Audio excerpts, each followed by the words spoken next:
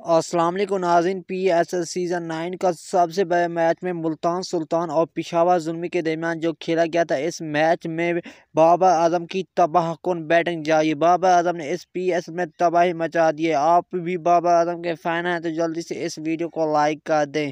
दोस्तों, आपको पता चले कि पिशावर जुल्मी ने मुल्तान सुल्तान को इबरतनाक शिकस्त दे दिया इस मैच में। आप भी मुल्तान सुल्तान टीम के फ़ैन हैं तो वीडियो को लाइक कर दें और चैनल को सब्सक्राइब सब्सक्राइब लाजमी कर दे ताकि आप भी ऐसी क्रिकेट इन्फॉर्मेशन वीडियो जान सकें।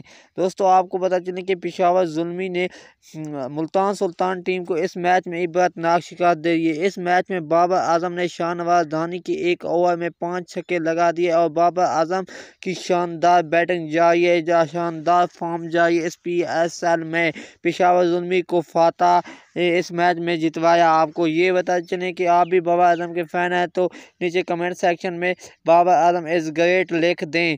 Thanks for me watching video